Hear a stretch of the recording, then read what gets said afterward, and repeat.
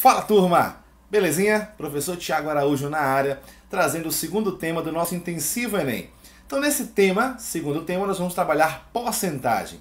Muita coisa aí sobre porcentagem, o que, que é descontos sucessivos, aumentos sucessivos, lucro, prejuízo, muita coisa boa para você arrebentar no Enem e conquistar a sua aprovação. Vamos juntos, vai dar tudo certo, beleza? Então, você que está nos acompanhando, que ainda não assistiu, a aula sobre razão e proporção, tema 1. Vai lá, assiste aí nessa playlist. Te garanto que é sucesso. Vamos arrebentar no Enem neste ano, belezinha? Então, galera, se você ainda não é inscrito no canal, inscreva-se aqui no canal, faça parte da escola de números, dessa família maravilhosa. Peço logo para vocês colocar logo o like, deixar o gostei de vocês. Ajuda bastante, belezinha? Tranquilo? Então, final do vídeo, Qualquer dúvida, coloca aí nos comentários, vai ser um prazer estar atendendo todos vocês. Não esqueça também de compartilhar com seus amigos, vamos ajudar muita gente a se dar bem no Enem este ano, beleza? E por último, não esqueça aí de nos seguir lá no Instagram, arroba Escola de Números, vai ser um prazer também estar recebendo vocês por lá. Então galera, vem comigo aí ficar fera na matemática e em porcentagem. Então nesse tema 2, porcentagem, a gente vai trabalhar esses três tópicos principais aqui. Definição de porcentagem, aumento e desconto, lucro e prejuízo. Então, basicamente, o que nós vamos encontrar na prova de porcentagem são esses três temas, incluindo também juros simples. Também pode estar caindo, mas a gente vai dar ênfase naquilo que sempre vem caindo em todas as provas, beleza? Então, vem comigo. Então, olha só. Primeiro, onde encontramos a porcentagem? E aí, isso é uma pergunta que a gente tem que se fazer sempre que a gente começa a estudar algum conteúdo, né? Onde que a gente pode encontrar? Então, nós temos aí banco, então transações, é, quando você investe dinheiro, juros, então muita porcentagem quando você paga atrasado, você paga juros, então muita coisa aqui de porcentagem no banco. E aí você tem as promoções, famosas promoções. Muitas questões abordam promoções na prova, beleza? Um outro é quando você que eu já citei, não, não honra com seus compromissos no tempo correto, e aí você vai pagar juros, né? Você vai ficar atolado em dívidas. Então, essa questão toda, essa questão financeira, está muito ligado à porcentagem. A porcentagem está dentro disso aqui. Você tem esses três, três exemplos onde podemos encontrar porcentagem, e dentro desses três exemplos, existem expressões que envolvem porcentagem. Posso citar aqui as quatro mais importantes que a gente vai trabalhar. A primeira é acréscimo. Então, acréscimo dá, já dá uma ideia de adicionar, de somar, né? acrescentar. Uma outra ideia associada à porcentagem também aos descontos. Quando você vai numa loja, você trabalha com desconto, você pechincha. E aí você tem também lucro. Né? O lucro também está ligado sempre a uma porcentagem de lucro. Ou você tem prejuízo que a gente vai falar de cada um desses temas aqui dentro dessa aula de hoje, beleza? Além desses, dessas expressões, você também tem juro simples, juro composto, amortização, tudo isso envolve porcentagem, mas a gente vai né, nos concentrar nesses quatro, nessas quatro expressões principais aqui, beleza? Então vem comigo. Então olha só, você já parou para pensar nisto? Olha aqui, ó.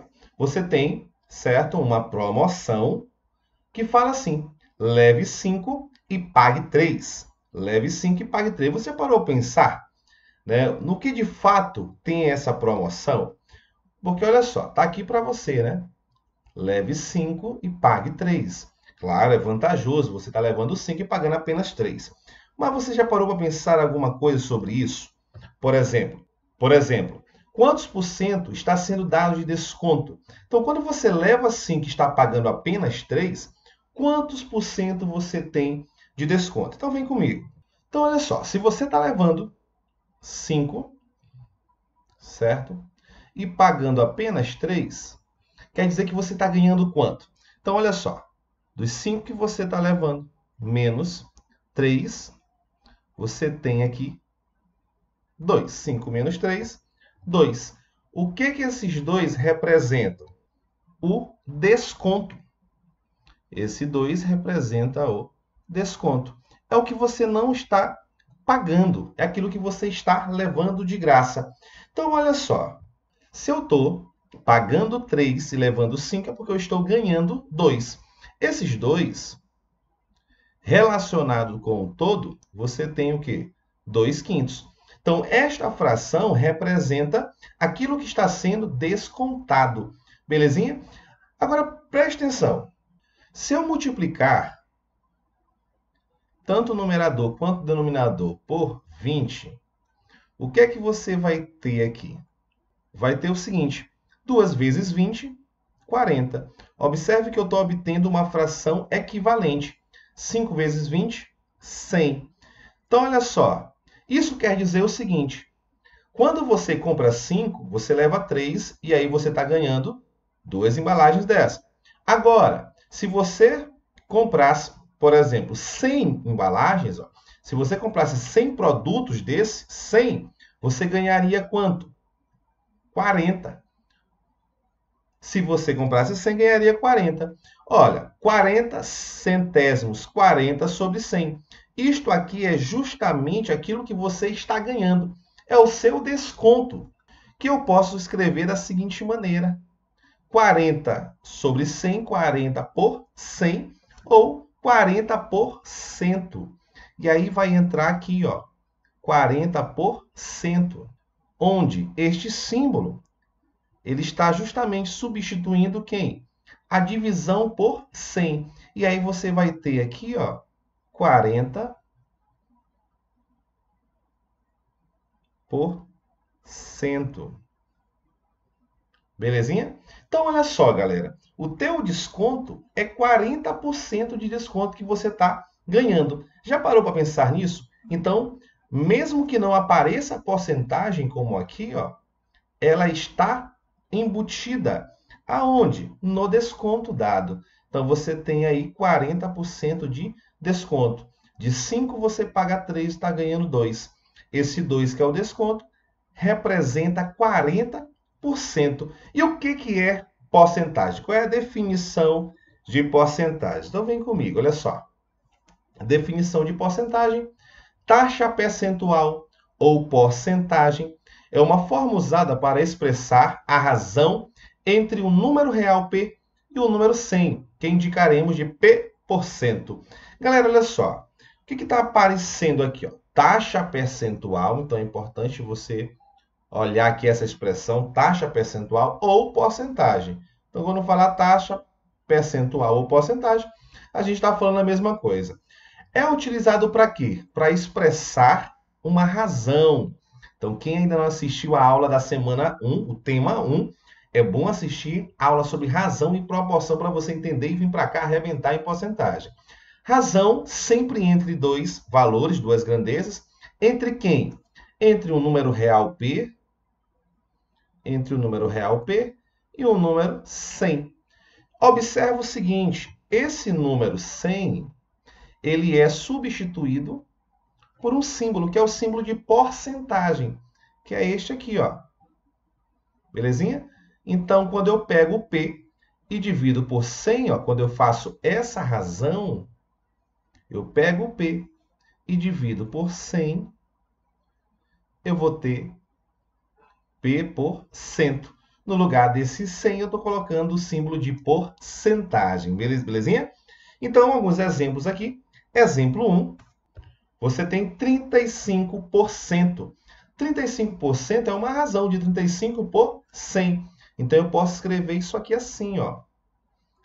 35. O símbolo de porcentagem, galera, é você dividir por 100. 35 por 100. E olha um detalhe. Eu posso transformar esta fração em um número decimal. Como eu tenho dois zeros, basta eu pegar a vírgula, que está aqui no final, e deslocar duas casas para a esquerda. E aí eu vou ter o seguinte, duas casas para a esquerda, 0,35. Então, 35% é a mesma coisa de 35 sobre 100, ou 0,35, belezinha? Então, você pode escrever dessas formas diferentes. Um outro exemplo, 0,64. Observa que não está em porcentagem, mas eu posso escrever isso aqui em forma de porcentagem. Basta eu fazer o quê? Olha só. Quando você tiver um número decimal e quiser transformar para porcentagem, você vai pegar a vírgula e deslocar duas casas para a direita. Quando você fizer isso, o que, é que vai acontecer? Você vai ter aqui ó, 64. E aí, para compensar essas duas casas que você andou com a vírgula, você vai dividir por 100.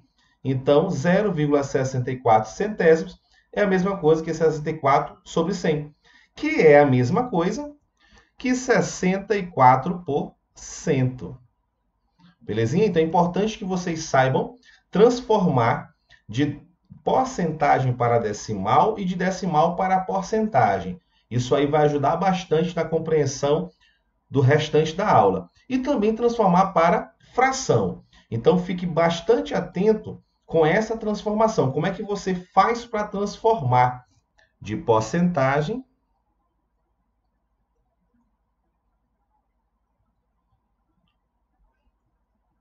para fração e para decimal. Isso aqui é super importante quando a gente estiver resolvendo as questões. A gente vai estar utilizando essas transformações. Então, observa que você sempre vai trabalhar com o quê? Com o deslocamento da vírgula, belezinha? Tranquilo? Então, vem comigo exemplo 2. Então, você tem o seguinte. 5 equivale a quantos por cento de 20? Galera, às vezes você precisa determinar qual é a porcentagem de, de um determinado valor em relação ao todo. Então, toda vez que você quiser determinar quanto vale um valor, quantos por cento vale um valor em relação ao todo, você vai fazer o seguinte, olha só. Para transformar qualquer valor em porcentagem, basta dividir a parte pelo todo. E qual é a parte aqui? Ó? A parte é o 5. E o todo, o 20. Então, como eu quero descobrir quantos por cento 5 vale em relação ao 20, basta eu dividir a parte pelo todo. E aí é tranquilo. Ó. Na hora que você fizer aqui, ó, parte pelo todo, e aí você não precisa fazer nenhuma regrinha de 3, nada disso. Sempre dividindo a parte pelo todo, você vai ter o seguinte, ó. Quem é a parte? 5. Dividido por 20, Beleza? E aí você pode fazer o seguinte: ou você efetua essa divisão, descobre o número decimal, ou você utiliza aí a questão da fração equivalente. Eu vou mostrar como é que é dividindo para ficar melhor, né? Para você não estar tá vacilando aí. Então, eu vou dividir aqui de ladinho, ó. Então, 5 dividido por 20. 5 não dá para dividir por 20, então 0 aqui, 0 lá. 50 dividido por 22, 2 vezes 20, 40, para 50, 10, 0 aqui. 100 dividido por 20, 5. 5 vezes 20, 100, para 100, nada. E aí, o que, que você vai ter aqui? Que 5 sobre 20 é a mesma coisa que 25%. Ou melhor, 0,25. Não vamos adiantar as coisas. Só que é o seguinte, 0,25 a vírgula, eu tenho decimal e eu quero transformar para porcentagem. O que é que eu vou fazer? Eu pego essa vírgula, duas casas para a direita, e aí eu vou ter 25. E para compensar essas duas casas para a direita, eu divido por 100, que é a mesma coisa que colocar o símbolo de porcentagem. Então, você percebe o seguinte, que 5 equivale a 25% de 20. Então, toda vez que você quiser representar um determinado valor, em porcentagem em relação ao todo, basta dividir a parte pelo todo. Isso aqui a gente vai usar bastante, galera. Com certeza, em algum momento você vai precisar utilizar essa ideia aqui na sua prova, belezinha? Então aprenda aí, vem comigo, vamos ficar fera nesse negócio e gabaritar essa prova, galera. Vem comigo, olha só. Cálculo de porcentagem. Como é que você calcula a porcentagem de um determinado valor? Então, olha só. Para calcular a porcentagem de um determinado valor, basta multiplicar a porcentagem pelo valor. Então, basta você fazer a multiplicação. E aí eu te chamo a atenção para esse DI. Toda vez que aparecer o DI, esse DI vai ser multiplicação. Multiplicação. Apareceu o DI, pode multiplicar. Então, olha como é que a gente vai fazer. Exemplo, 25% de 300. Primeira coisinha, transforma para fração. Então, você vai pegar aqui, ó, 25% é a mesma coisa que 25 sobre 100. O de, eu já falei, é o quê? Vezes. Então, você vai multiplicar por 300. E aí, qual é a ideia? A ideia é o seguinte, como você tem multiplicação de fração, aqui embaixo é 1. E aí você vai multiplicar numerador com denominador, numerador com numerador, denominador com denominador e resolver tranquilamente. E aí a gente vai ter o seguinte, antes de multiplicar, quando aparecer zeros no final, dê graças a Deus e corte tudo. Eu tenho dois zeros embaixo, dois zeros em cima, pronto, cortei aqui embaixo, ficou só 1. 1 vezes 1 dá 1, sem problema. 25 vezes 3, 75. Então, 25% de 300 é 75. Próximo exemplo, 1,2% de 60. E aí você tem o seguinte, 1,2% é 1,2 sobre 100 vezes 60. Mais uma vez, o denominador aqui é 1, e eu vou multiplicar numerador com, com numerador, denominador com denominador. De novo, eu dou graças a Deus aqui, ó, e cancelo os zeros. E aí eu vou ter o seguinte, 1,2 vezes 6, e aí fica tranquilo. Basta você fazer uma multiplicação bem simples, né? Então, 6 vezes 1, 6. 6 vezes 2 vai dar 12, como eu tenho uma vírgula 1,2. Isso aqui vai dar 7,2 dividido por 10, né? Que sobrou 10 vezes 1, 10. E aí, quando eu divido por 10, eu faço o quê? Desloco a vírgula uma casa para a esquerda. E o resultado vai me dar 0,72. Então, 1,2% de 60 é 0,72. Outro exemplo, 10% de 20%. Professor Tiago, pode fazer isso? Porcentagem de porcentagem? Galera, só pode. Então, pode aparecer principalmente quando a gente for calcular aumentos sucessivos, descontos sucessivos, a gente vai calcular porcentagem sobre porcentagem. Juros simples, a gente vai calcular juro composto, a gente vai calcular aí porcentagem sobre porcentagem. Então, isso pode acontecer. 10% de 20%, 10% é 10 sobre 100. O DI, lembra aí, o DI é vezes sempre. 20% é 20 sobre 100. Isso aqui vai ser igual. De novo, ó, dá graças a Deus e cancela os zeros. 2 em cima com 2 embaixo. 1 vezes 2, 2. 1 vezes 100, 100. Eu posso escrever isso aqui de duas maneiras. Ou eu coloco em porcentagem novamente, certo? E aí eu teria 2 sobre 100, eu vou ter 2%. Belezinha? Ou eu poderia colocar isso aqui em decimal. Como eu tenho 2 dividido por 100, são duas casas que a vírgula vai deslocar para a esquerda. Uma, duas. Preciso de mais um zero aqui.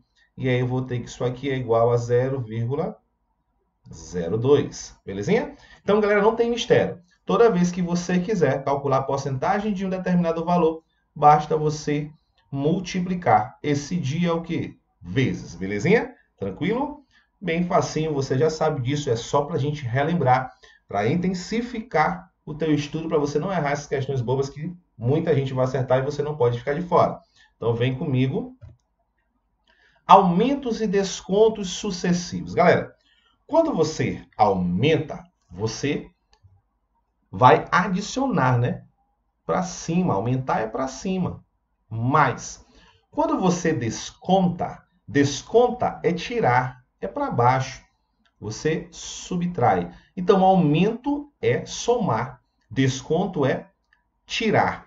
Galera, sucessivo são seguidos, um atrás do outro. Desconto, aumento, aumento, aumento, desconto, aumento. Então, de maneira sucessiva, uma atrás da outra. Então, você tem o seguinte aqui, ó, vem comigo. Formulinha para te salvar aqui. Ó. Galera, o que, que é esse VF aqui? Ó? Então, vamos dar o um nome aqui às coisinhas aqui. Ó. O que, que é o VF? O VF é o valor futuro. Beleza? Então, a gente vai chamar aqui VF de valor futuro. Destacar aqui para você enxergar legal. O que é o VI? O VI é o valor inicial. Então, valor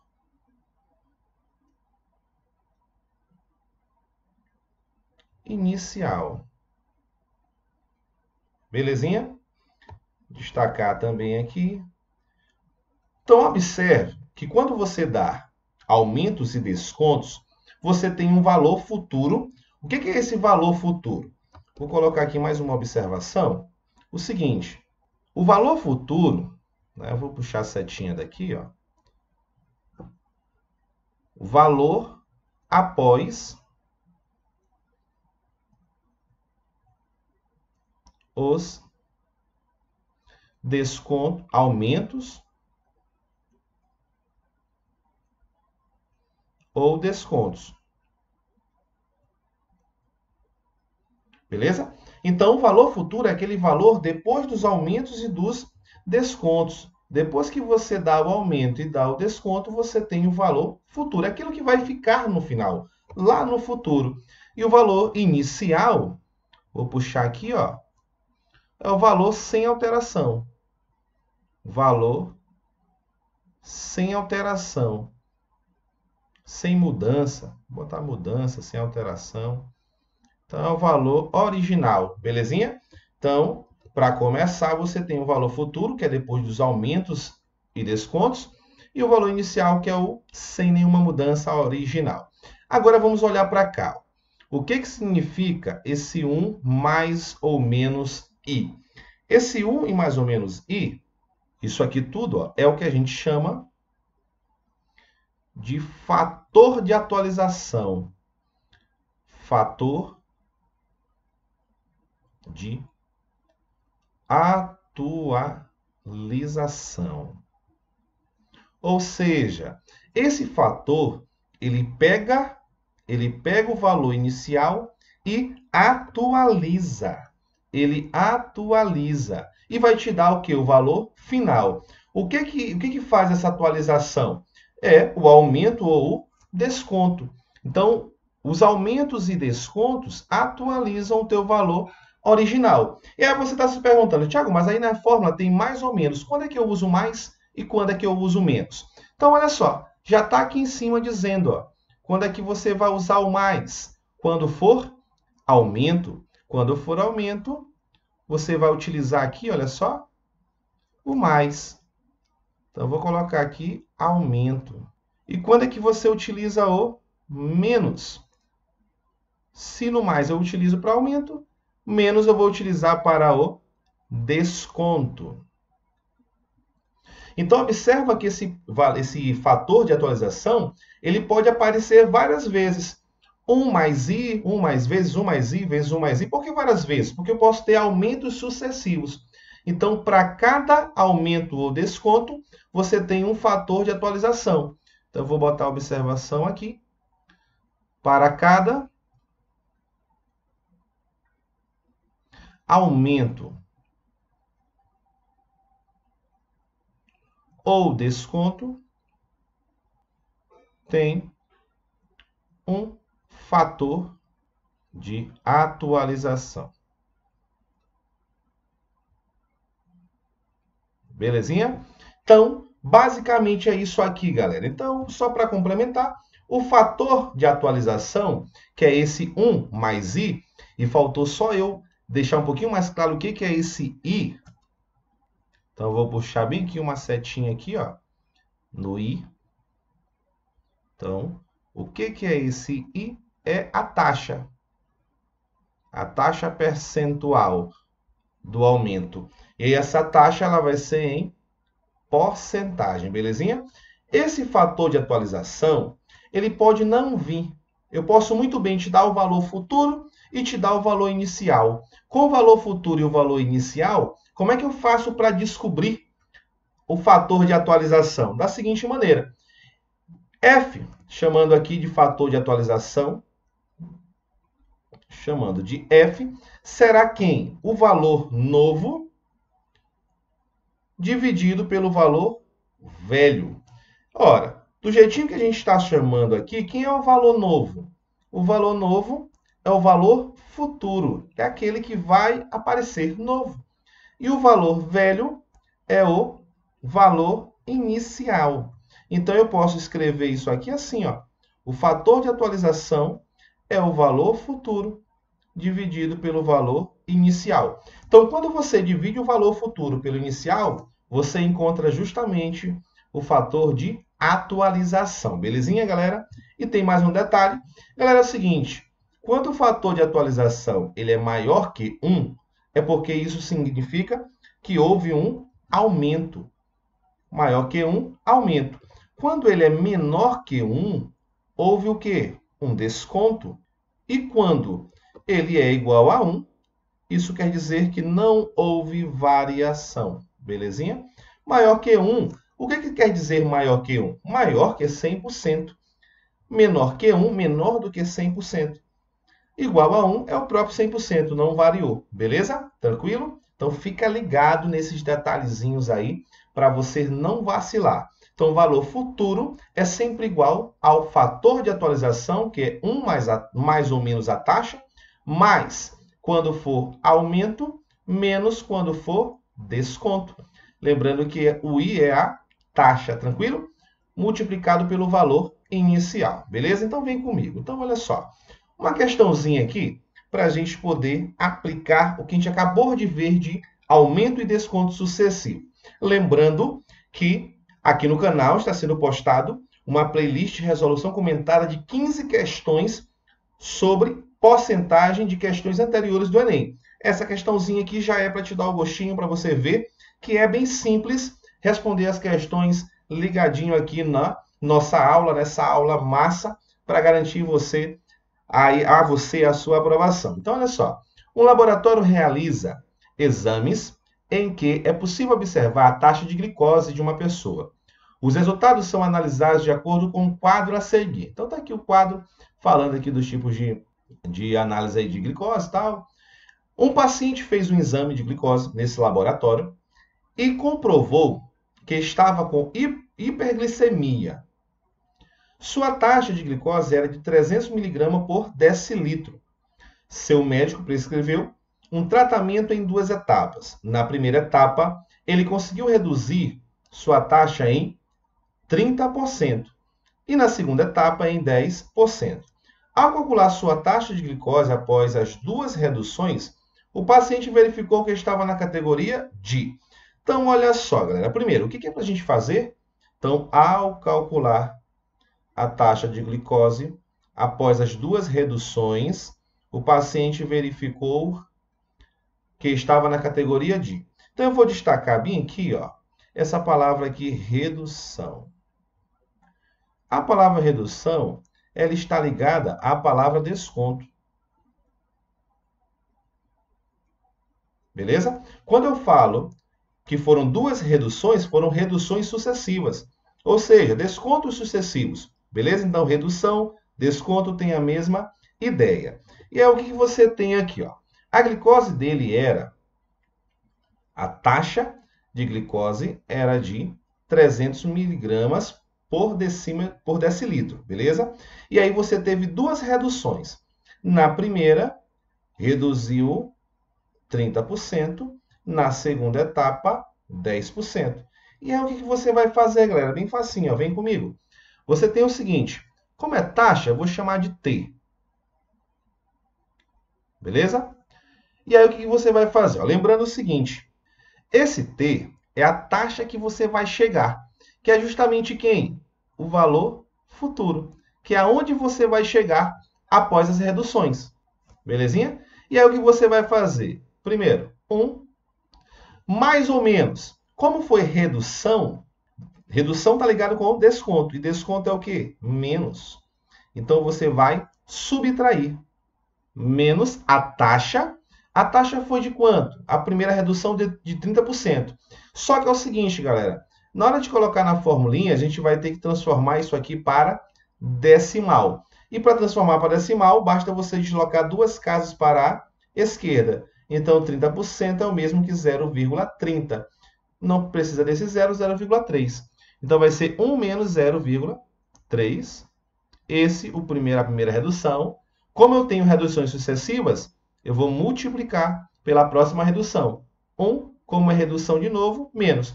Se ele tivesse tido um aumento, ao invés de uma redução, não seria menos e sim mais, belezinha?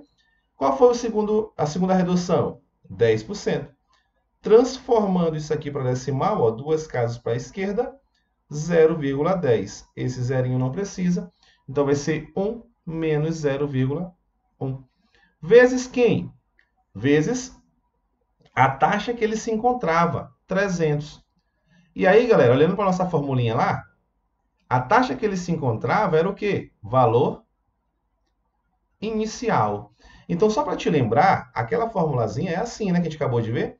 O valor final é igual a 1 mais ou menos a taxa I vezes o valor inicial. Então, nesse caso, ó, o valor inicial é quem? A taxa onde ele se encontrava e o valor final é a taxa onde ele chegou. E aí, agora a gente vai só calcular, né? Então, você tem aqui o seguinte. 1 menos 0,3, isso aqui é igual a 0,7. 1 menos 0,1, isso aqui é igual a 0,9. Então, a gente vai multiplicar, né? 0,7 vezes 0,9. E aí, nós vamos ter t igual 0,7 vezes 0,9. Isso aqui é 0,63 vezes 300. Galera, é o seguinte, eu tenho uma dicasinha para vocês, assim, ó. Você pode trocar zeros por casas decimais. Quantos zeros eu tenho aqui? Dois. Então, eu vou cortar esses dois zeros e pegar essa vírgula e deslocar duas casas para a direita. Para quê? Para eu não ter que multiplicar por um número decimal. E aí eu vou ter aqui 63 vezes 3. Por quê? Porque eu troquei os dois zeros por duas casas decimais. E aí fica mais fácil de eu multiplicar de cabeça. 6, 3 vezes 6, 18. Isso aqui vai dar 180. 3 vezes 3, 9. 189. E a unidade que nem precisa, porque você vai marcar, né, uma opção, mas como a gente está explicando, eu vou colocar direitinho, miligramas por decilitro. E essa, e essa taxa aqui se enquadra aonde? Se você observar, ó, vem bem aqui na diabetes mellitus. Taxa de glicose, vou destacar aqui a diabetes mellitus, taxa de glicose maior que 125 e menor do que 250. Olha só, 189 está nessa margem aqui. E aí, qual é a nossa opção correta? Diabetes mellitus, letra D. Olha só como cai no Enem. Certinho, tranquilo. Basta você lembrar que o valor futuro sempre será o, a, a, o fator de atualização multiplicado pelo valor inicial. Quando for desconto, redução, menos. Quando for aumento, acréscimo, mais. Belezinha? Bem tranquilo, vem comigo. Finalizando nossa aula, lembra Galera, é o seguinte, conteúdo aqui é rapidinho, só para a gente lembrar. O importante é resolver a lista, beleza? Isso é importante. Estou só te dando as ideias aqui, te lembrando, refrescando a tua memória, para você ir para cima da lista com muita força, belezinha? E aí, a gente vai estar tá postando aqui, como sempre, resolução de 15 questões resolvidas lá dos, dos Enems anteriores, beleza? para você ir se acostumando a como resolver questões que caem no Enem. Então, olha só. Para falar aqui de lucro e prejuízo, vou, vou ler a situação aqui o seguinte. Um feirante compra frutas de seu fornecedor por R$ 2,00 a dúzia.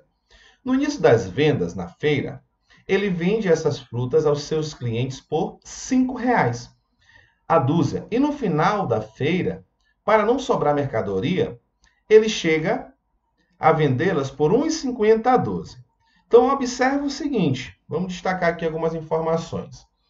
Então, o fornecedor, ele compra por R$ 2,00 a dúzia. No início da feira, ele vende essas frutas por R$ 5,00. Isso no início. No final da feira, ele vende, ele chega a vender a dúzia por R$ 1,50. Observe o seguinte, ele comprou por R$ reais, certo? Então, olha só, quanto é que ele está lucrando no começo das vendas aqui? Ó? Você tem o seguinte, ele comprou por R$ reais né, e vendeu por 5, isso no início da feira. Então, você tem aqui, né, 5 menos 2 isso aqui vai ser igual a R$ reais. Belezinha? O que, que eu posso garantir para você? Que esses R$ reais é o que? O lucro. É o que ele está lucrando. Beleza? Agora é o seguinte. No final da feira, olha o que acontece. Ele pega lá,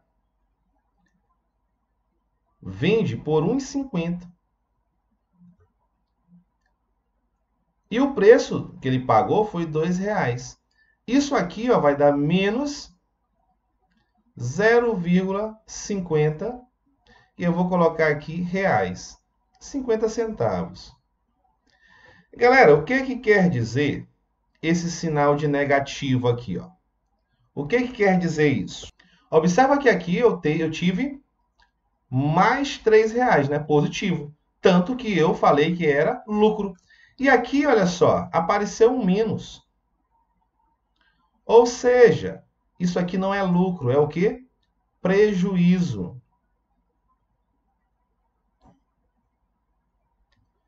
Esse prejuízo nós chamamos também de lucro negativo. Então, quando você ouvir a expressão lucro negativo, a gente está falando de prejuízo. Então, observa que aqui o, o nosso feirante, no início da feira, né, vou colocar aqui início da feira, ele tem lucro. Já no término da feira, final, ele tem o quê? Um lucro negativo, ou seja, prejuízo. Galera, o que foi que a gente fez aqui? Ó? A gente simplesmente pegou o preço de venda, preço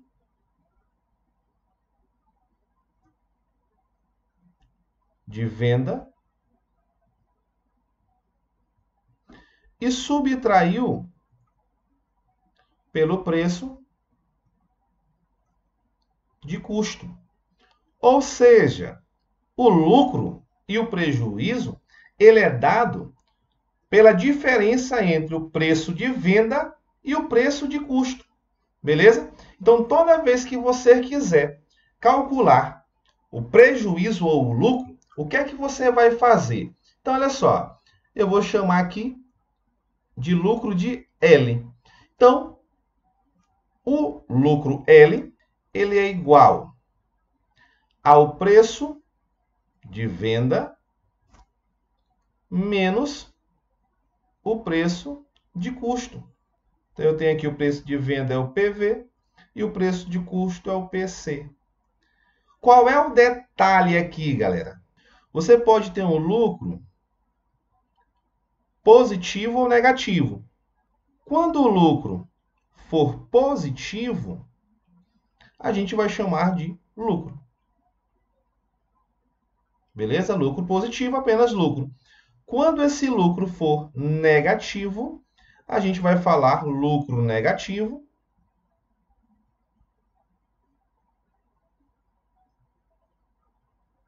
Beleza? Só destacando aqui. Então, positivo é apenas lucro, negativo, lucro negativo. E nesse caso do lucro negativo, a gente vai chamar de prejuízo. Então, qual é a formulinha, qual é a relação para você calcular lucro? É basta você pegar o preço de venda e subtrair pelo preço de custo. Se der positivo, lucro. Se der negativo, prejuízo, galera. Belezinha? Então, basicamente, o que pode aparecer em relação à porcentagem, e aqui esse probleminha nem, nem envolvi porcentagem, mas só para te dar a ideia de lucro e prejuízo, porque porcentagem pode é, aparecer aqui, porque eu posso muito bem te perguntar qual foi, quantos por cento ele teve de prejuízo no final da feira. Então, se eu perguntasse isso, bastava eu calcular. Lembrando o seguinte, olha só, ele teve um prejuízo de 50 centavos por, por venda, né? por dúzia de fruta. A cada dúzia de fruta você teve um prejuízo de 50 centavos. E se você quiser saber quantos por cento equivale isso aqui, basta você dividir a parte pelo todo. Então, por exemplo, Se você pegar aqui, ó, 50 centavos,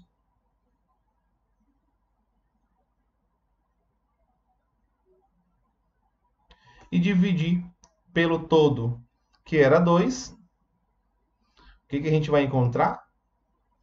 0,25. E esse 0,25 é justamente o quê? 25%.